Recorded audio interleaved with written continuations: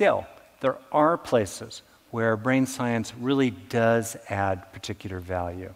And in my own view, as I've said before, I think one of the particular areas where it adds a special value is drawing our attention back to the fundamental processes of learning, the how of personal growth altogether.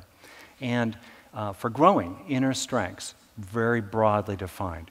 Inner strengths like mindfulness, the strengths that enable us to simply be with our experience, to bear our own pain without trying to change one whit of it, to feel our feelings, to step back from our experience and disidentify from it, simply to witness it. It takes strengths inside, various capabilities such as distress tolerance or steadiness of mind or an internalized sense of allies to be able to just simply be with our own experience.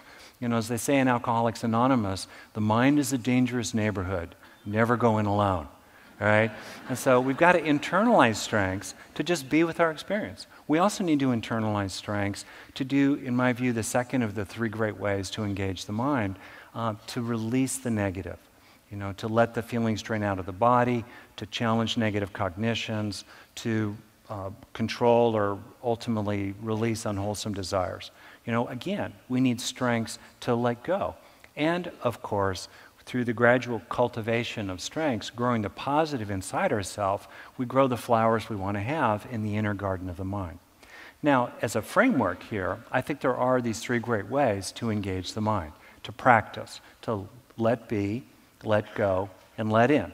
I'm going to focus momentarily on letting in in this larger context, but I think it's important to appreciate the fact that even if when we're even if we're moving into choiceless awareness, you know, a long-time meditator, meditation teacher, even moving into some kind of profound state of just simply being with what's there, we also need to have internalized various capabilities that can enable us to do that thing.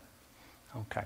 So, in this context, then, of talking about inner strengths, I'd like to start with a story I heard about two wolves. And you may have heard this story yourself, or perhaps heard it in different ways. Uh, the way I heard it was this uh, A woman was asked toward the end of her life, a Native American First People woman, grandmother, how did you become so happy? How did you become so wise, so effective? Everybody listens to you, everybody wants to be your friend. How did you actually do it? She paused, she reflected, and she said, You know, I think it's because when I was young, I realized that in my heart were two wolves one of love and one of hate. And I also realized when I was young that everything depended upon which one I fed each day. I've told that story so often, I'm still getting the shivers every time, you know. The first part, of course, the reality of the wolf of hate. Metaphorically speaking, broadly defined, but that capacity in almost every human heart, certainly inside my own, for ill will, uh, uh, envy, uh, vengeance, even violence, that capacity, rage, if you will. Um, and the second takeaway here, which is really relevant for our purposes, is this fundamental idea that we're continually feeding one wolf or another. The brain is continually changing based on our experiences, one way or another. Which wolf will we feed? Will we feed the wolf of love? Will we grow love in our heart? Or other forms of inner strength, right? Inner strengths are a very familiar idea in psychology, uh, as well as in the culture altogether. Uh, love, obviously, is an inner strength, uh, as are various capabilities like the executive functions, mindfulness, impulse control, uh, inner strengths include positive emotions, as Barbara Fredrickson. I'm really looking forward to her presentation. Uh, and her colleagues have uh, so well documented. Uh, positive emotion, happiness, joy. You know, California has no monopoly on positive emotion. Gratitude, gladness, uh, awe, uh, everyday sense of well being, accomplishment. These positive emotions, um, besides being pleasant in the moment, uh, confer all kinds of value for people. They make people stronger, they make them more resilient, they make people more able to handle the hard things in life. Also, of course, inner strengths include various attitudes like openness or determination, uh, you know, an approach orientation, optimism, uh, somatic inclinations, as Peter Levine uh, just blew my mind at his lunch address yesterday, talking about inclinations in the body, vitality, relaxation, leaning in rather than back. You know, I learned a while ago with my wife of 31 years that when she had a problem and more and more it was looking like it was me, that it was better to lean forward in the listening moment rather than lean away, you know. kind of got, kept my head in the game, you know. That's a somatic inclination too, right? Okay. And then last, of course, the character virtues of all kinds patience, generosity, thrift. Uh, I forget all the Boy Scout character virtues I was supposed to memorize. Thrift, something like that. Cleanliness was in there, I think, somewhere. dispense with that quickly. Wisdom and so on. Okay, so what does it actually take to develop these inner strengths? Well, inner strengths in the modern neuropsychological frame, the natural frame, are understood to be built out of brain structure.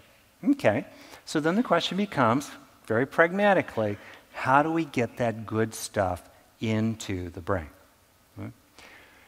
Inner strengths are grown in this two stage process where essentially we have an experience of them or a related factor, that's a state, which then gets installed in the brain increasingly as a trait.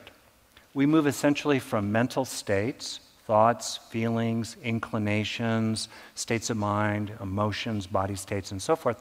We move from states, mental states, to neural traits, from activation to installation, from short term memory buffers to long term storage.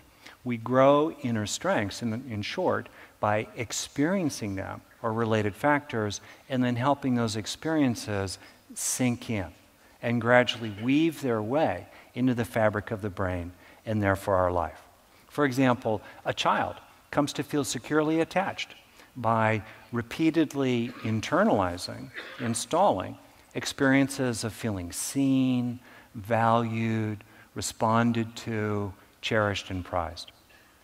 An adult, let's say, gradually grows compassion inside herself or himself by repeatedly internalizing, installing experiences of empathy, um, kindness, uh, a sense of what it's like uh, to walk in another, another person's shoes, uh, the intention, the, the wish that beings not suffer, uh, warm heartedness of various kinds.